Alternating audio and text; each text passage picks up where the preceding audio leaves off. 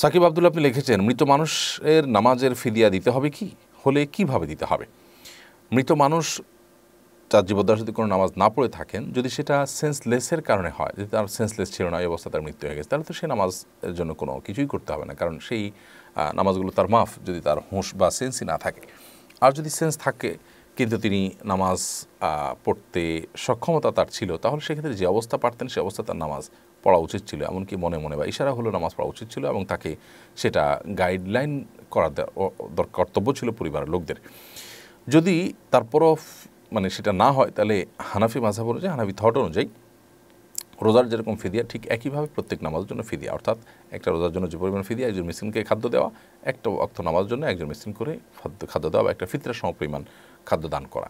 এটা হলো কর্তব্য এবং এ হারে হিসাব করে দিয়ে দিবে যত অক্ত নামাজ বাদ গেছে। এটা ফোকা হানাফের মত। যদি অন্যান্য ফোকা একনার মত হলো না, এরকম কোনো ফিদিয়া নামাজের জন্য প্রযোজ্য হবে না। কোরআনে আল্লাহ তালা রোজার জন্য ফিদিয়ার কথা বলেছেন, নামাজের জন্য বলেননি। অতএব নামাজের কোনো বিকল্প নেই। যদি তিনি নামাজ না পড়ে থাকেন, আল্লাহ তালার কাছে তার জন্য ইস্তেকফার করবেন। তার জন্য মাফ চাইবেন, আল্লাহ যেন তাকে মাফ করেন বা সেটাই যথেষ্ট। সাধারণভাবে দান সাদাকা তার জন্য হতে পারে। মোশারফ হোসেন লিখেছেন, নেশা পরিমাণ অর্থ এক বছর থাকলে আড়াই শতাংশ জাকাত দিতে হয়। আর জিলহজ মাসের কোরবানির তিন দিন নেশা পরিমাণ অর্থ থাকলেই কি আড়াই শতাংশ হারে কোরবানি দিতে হবে, নাকি যে কোনো পরিমাণ দিলেই হবে? কোরবানি এবং জাকাত দুটো কিন্তু ভিন্ন জিনিস। আপনার কোরবানির সাথে আড়াই শতাংশের সম্পর্ক নেই। বরং কোরবানি আপনার যদি কোটি টাকাও থাকে, একটা ছাগল কোরবানি দিলে আপনার জন্য যথেষ্ট হয়ে যাবে। এখানে আড়াই শতাংশ ব্যাপার নাই। আর কোরবানিতে ওই সম্পদ এক বছর পূর্ণ হওয়া জরুরি না। কোরবানি ঈদের এক সপ্তাহ আগে আপনি সম্পদের মালিক হয়েছেন, তারপর আপনার উপর কোরবানি প্রযোজ্য হবে। কিন্তু জাকাত প্রযোজ্য হবে, এক বছর সম্পদটা থাকলে তারপর। ফাউজুল আজিম, আপনি লিখেছেন, আমার বয়স উনত্রিশ আমি একটি মাদ্রাসায় খেদমত করি, কিন্তু আমার পারি- পরিবার আমাকে বিয়ে করাচ্ছে না। আমি বলতেও পারছি না, আমি কি করতে পারি এখন?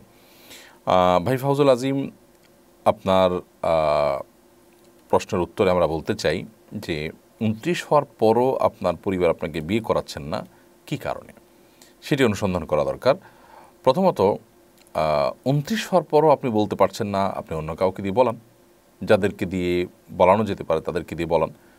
যদি তাতেও কাজ না হয় এবং আপনি গুনাহে লিপ্ত আশঙ্কা থাকে, তাহলে সেক্ষেত্রে আপনি এলাকার মান্যগণ্য ওলামা ইকরামের মাধ্যমে স্বেচ্ছায় আপনি বিয়ের উদ্যোগ নেবেন। প্রয়োজনে আপনি মুখ খুলে বলবেন। কিন্তু গুণা থেকে বাঁচার জন্য আপনার ন্যূনতম চেষ্টা অবশ্যই করতে হবে। তা না হলে কিন্তু আপনি যে গুনাহে লিপ্ত হলে তার জন্য আল্লাহ তালার কাছে দায়ী হতে হবে। আর অভিভাবকরা যদি কোনো যৌক্তিক কারণ ছাড়া আপনার বিবাহ বিলম্ব করে থাকেন তারা আল্লাহর কাছে অপরাধ হিসাবে বিবেচিত হবেন।